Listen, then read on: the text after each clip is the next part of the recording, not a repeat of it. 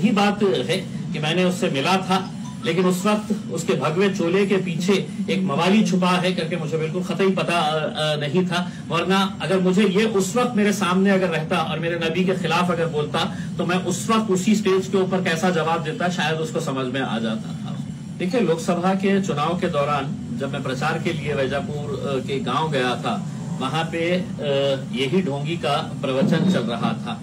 मुझे वहाँ के गाँव वालों ने ये बताया कि साहब, वो आपसे बहुत प्रभावित है आप जिस तरह से सभी समाज के लोगों को साथ में लेकर काम करते हैं और आपका वो सत्कार करना चाहते हैं तो वहीं पे चल रहा था तो गाँव वालों ने पकड़ कर मुझे वहाँ पर लेकर गए और वहाँ पर जाने के बाद उन्होंने मेरे बारे में बड़ी तारीफ़ की उस वक्त अगर मुझे ये पता रहता था कि ये महाराज के दिमाग के अंदर, मेरे नबी के खिलाफ, मेरे प्रॉफिट मोहम्मद के खिलाफ इस तरह का जहर है, हा?